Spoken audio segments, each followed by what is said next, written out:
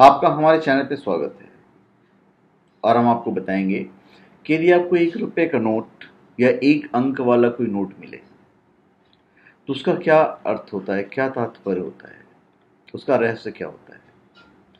लोग अक्सर सिक्के मिलते हैं, सिक्के मिलने का एक अलग मतलब होता है। अदृश्य ताकतें अपना संदेश भेजने के लिए सिक्के चुनती हैं। इसका सीधा सा जवाब है कि सिक्के नोटों से ज़्यादा टिकाऊ होते हैं। सिक्कों का रंग और चमक आसानी से किसी को भी अपनी ओर आकर्षित कर सकते हैं, खींच सकते हैं। हालाँकि ज़रूरी नहीं कि आपको हमेशा सिक्के ही मिले। जब आपको पैसे मिले तो आपको सबसे पहले दो चीज़ों पर ध्यान देने की ज़रूरत है। पहली बात, जब आपको पैसे मिले तो उस वक्त आप क्या सोच रहे थे? और दूसरी, आपको कौन सी करेंसी मिली है? तो हम एक रुपए की बात कर रहे हैं। जिन सिक्कों या नोटों पर अंक एक हो तो एक अंक वाले रुपए और सिक्के मिलने का मतलब है कि यह किसी नई शुरुआत की तरफ़ इशारा है। इसका मतलब है कि आप अपने नए विचारों को साकार रूप देने की तरफ़ आगे बढ़े।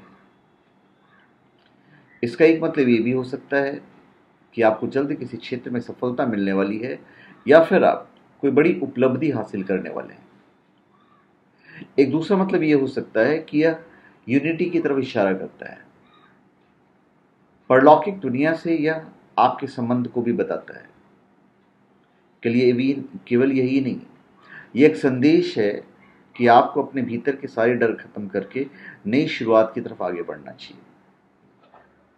तो धन्यवाद। आपका हमारे चैनल पर स्वागत है। आप हमारे चैनल पर सब्सक्राइब करें और अपने कमेंट दीजिए। धन्यवाद। और एक चीज़ और मैं कहूँगा कि यदि आपको हमारे वीडियोज़ अच्छे लगें तो हम चाहेंगे कि आप हमारे वीडियो को शेयर कर दीजिए। और एक लाइक भी दे दीजिएगा।